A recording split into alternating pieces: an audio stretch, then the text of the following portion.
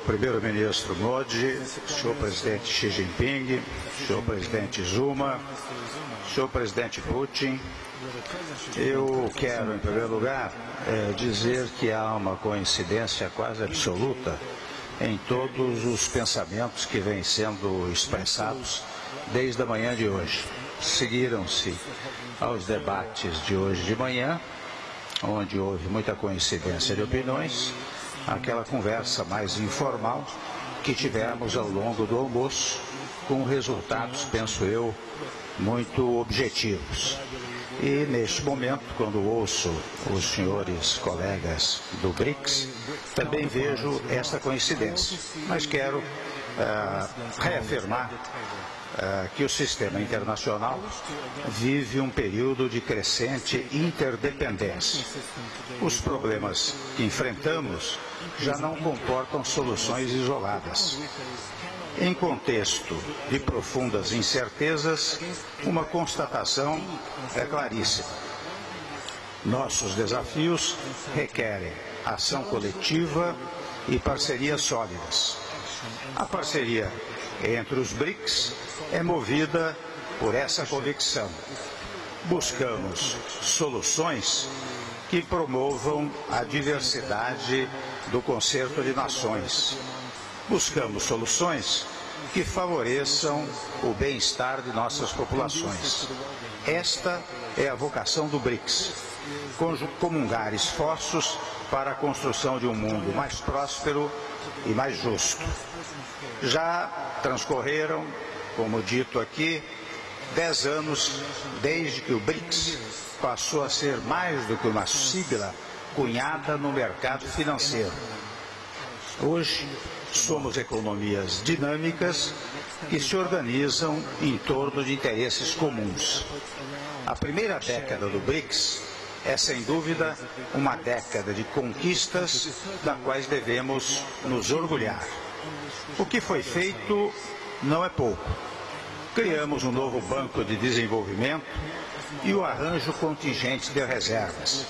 São iniciativas de peso fruto de confiança mútua e empenho sempre na busca de soluções conjuntas. São iniciativas que traduzem, na prática, nossas convergências na seara financeira. O banco é a face mais visível do BRICS. Seu êxito será o êxito do BRICS. Nosso desempenho como grupo e nossa capacidade de inovar no sistema internacional serão avaliados com base no bom funcionamento dessa instituição. Um dos focos prioritários de nossos trabalhos deve ser, portanto, a consolidação do banco. O início bem-sucedido de suas operações é motivo de grande satisfação. Seu êxito de longo prazo está condicionado à solidez financeira e à boa gestão. Temos a confiança de que o novo Banco de Desenvolvimento seguirá no caminho certo. Promoverá o desenvolvimento sustentável e se firmará como ator-chave entre as instituições financeiras internacionais. Nossas visões compartilhadas, como já disse, em assuntos econômicos, nos animam a fazer mais. O caminho para obtermos mais resultados é o caminho do diálogo e da construção de consensos. Nosso desafio permanente é evitar a dispersão de esforços. Como mencionei em nossa reunião restrita pela manhã, o Brasil passa por um momento de transformações. Estamos adotando ações para recuperar o crescimento e gerar empregos. Estamos aprimorando os nossos marcos regulatórios, reforçando a segurança jurídica, criando ambiente propício para novos investimentos. A parceria entre os BRICS poderá fomentar a interação entre nossos empresários e criar maior integração entre nossas economias, como pudemos verificar ainda agora há pouco na reunião do Conselho Empresarial eh, com os agentes do BRICS. No domínio comercial, portanto, podemos avançar na remoção de barreiras não tarifárias, como a simplificação de procedimentos aduaneiros e o reconhecimento mútuo de padrões e certificados.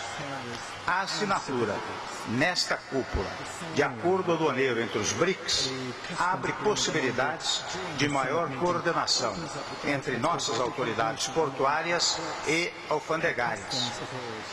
Barreiras sanitárias e fitossanitárias são sempre fonte de incerteza no comércio. Devemos impedir que essas medidas sejam utilizadas para fins protecionistas.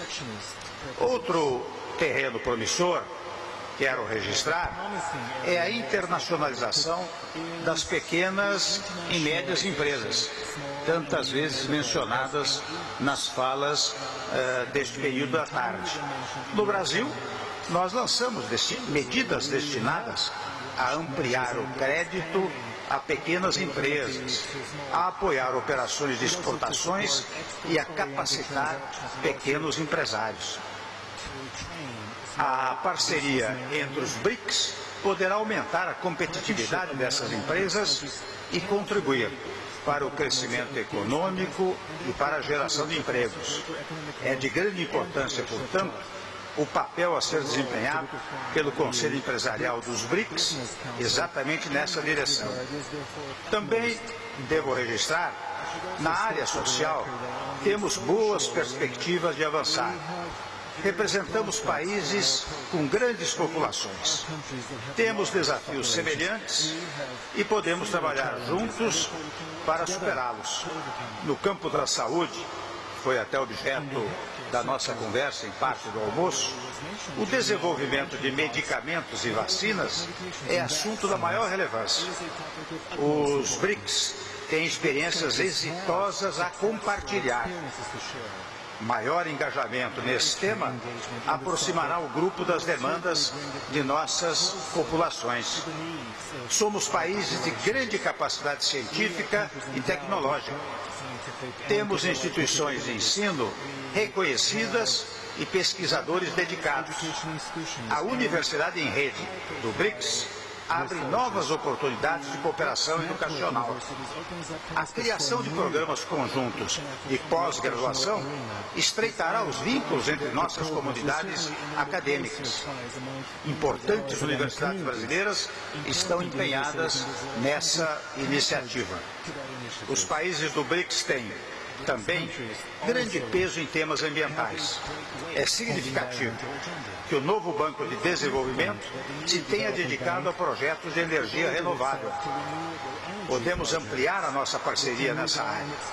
Os resultados expressivos que o Brasil tem obtido na redução do desmatamento e no uso de energias renováveis nos animam a fazer cada vez mais. Meus prezados amigos e colegas, eu quero congratular o primeiro-ministro Monti pelo esforço em tirar o BRICS das salas de reunião e levá-lo a espaços públicos, como cinemas, estádios de futebol e feiras comerciais.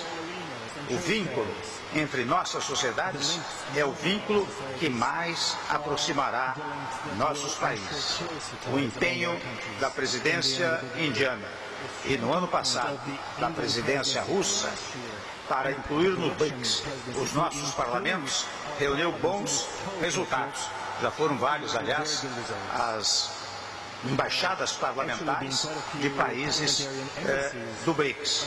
O Fórum Parlamentar do BRICS, portanto, dá respaldo político adicional à nossa parceria.